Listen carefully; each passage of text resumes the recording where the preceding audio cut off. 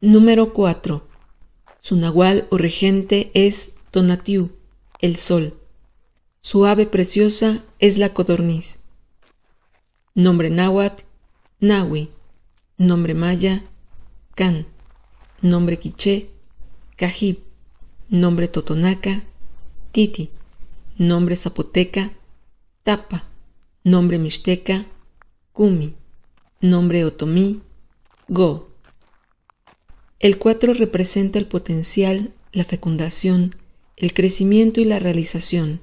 Favorece el aspecto positivo del signo al que acompaña, pero puede actuar de forma inesperada, favoreciendo el negativo. Su consejo es estar atentos y prepararse para los cambios. El signo de flor es el último de la veintena. Su nahual o regente es Xochiquetzali, pluma fina. Se orienta al sur. Su elemento es la tierra y el color el amarillo. Su horario de máximo efecto es el mediodía. Su componente humano, el cuerpo físico. Nombre náhuatl, Xochitl. Nombre maya, Ajau.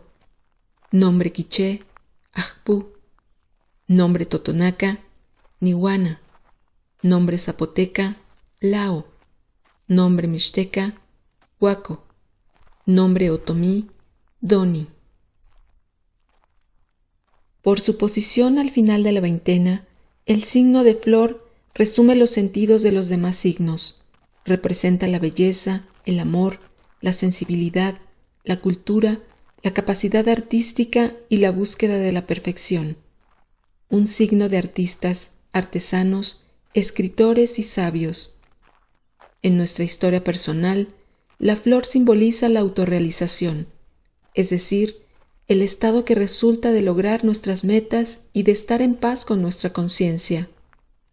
Los días en que rige flor son buenos para crear, darle vuelo a la imaginación, apreciar una buena obra de arte, evaluar nuestras acciones y llegar a conclusiones.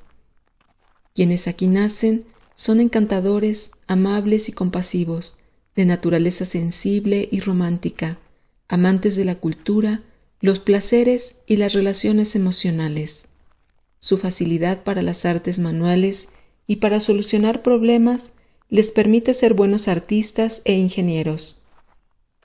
Su capacidad de prever les predestina al éxito. En el aspecto negativo, los nativos de Flor tienden a descuidar el lado material de la vida por causa de su naturaleza idealista, lo que podría arrojarlos a la enfermedad o a la pobreza.